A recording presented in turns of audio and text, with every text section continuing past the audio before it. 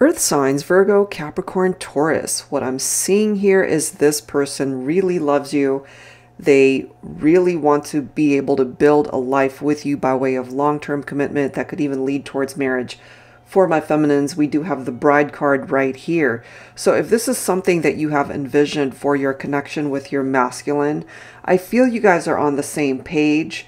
And we do have this equality card with the Six of Pentacles right here. The Two of Cups, of course, representing duality and the partnership, true love, as it says in this particular message. And yes, you do deserve love. You are a lovable person, as it says. And maybe you see your person as a soulmate we do have fitness goals right here. Some of you guys could really be into fitness and working out.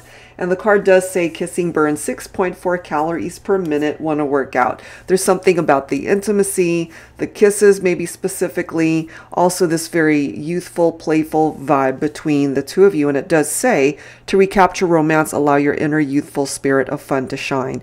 I do feel when you guys are together, you have a lot of fun together, lots of great times but you might be at a distance from one another or going through some challenges in your partnership. I feel there's this need to work on restoring balance in the connection. You guys are being given an, another opportunity to start again.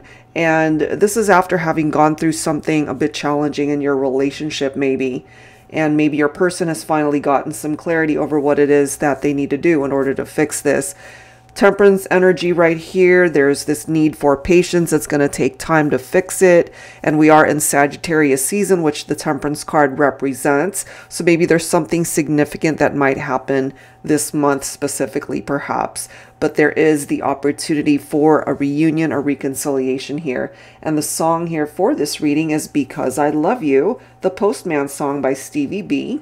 And it does say, Because I love you and I'll do anything. I'll give you my heart, my everything. Because I love you, I'll be right by your side to be your light, to be your guide. If you should feel that I don't really care and that you're starting to lose ground, just let me reassure you that you can count on me and that I'll always be around. So if they've ever let you down before, this is solidifying their intentions that they will be there for you.